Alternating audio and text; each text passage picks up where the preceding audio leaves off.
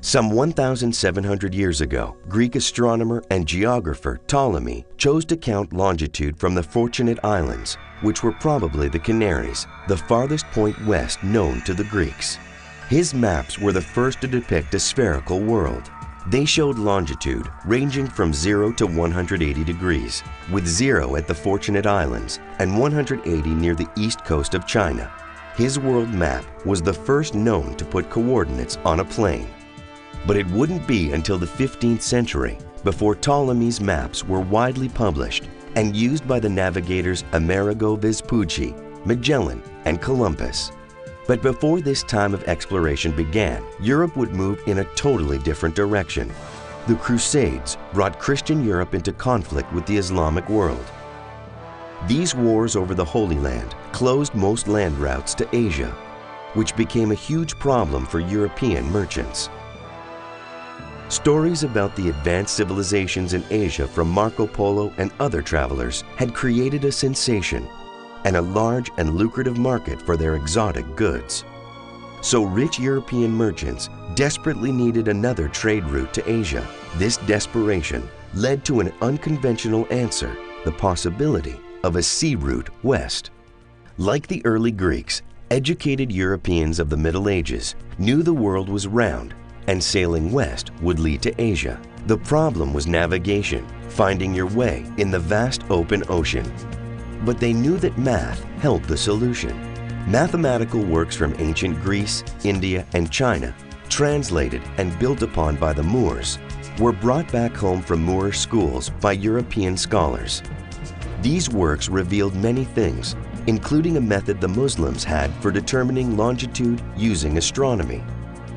They knew the Earth turns 360 degrees in 24 hours, 15 degrees in one hour, or one degree in four minutes. So if two observers saw the same celestial event, say a lunar eclipse, and in one location it happened at 10 minutes after midnight, while at the other it happened 30 minutes before midnight, they knew the difference in longitude was 40 minutes or 10 degrees. The only tool required was a clock that kept decent time and a way for the two observers to eventually communicate their observations.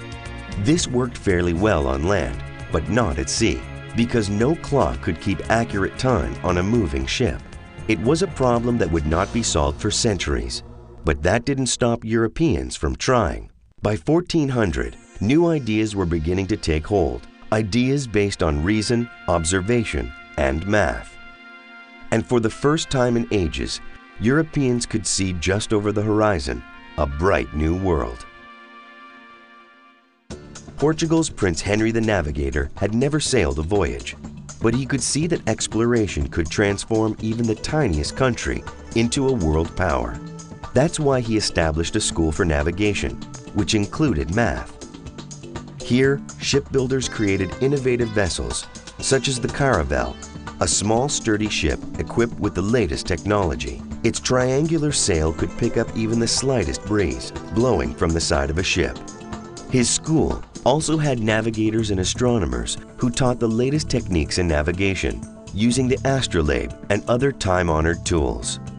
The astrolabe was used to tell time by measuring the altitude of the sun and to keep track of the position of stars. Forms of the astrolabe date back to ancient Greece, and it was widely used by Islamic astronomers. But the Portuguese began to use a new tool to navigate, the quadrant. The quadrant was an improvement on the astrolabe. Sailors used it to measure the altitude of a celestial body to locate their latitude. The quadrant was a quarter circle, or 90 degrees, with holes on one side. For instance, to find latitude, a navigator would line up the North Star through the holes, then hang a plumb line to determine the star's angle. The latitude of the observer was the star's angle. That is, its altitude off of the horizon. So at the North Pole, where the North Star is directly overhead, the latitude is 90 degrees. At the equator, where the North Star is on the horizon, the latitude is 0 degrees. Armed with the quadrant and compass, Portuguese explorers were poised to push even further to the east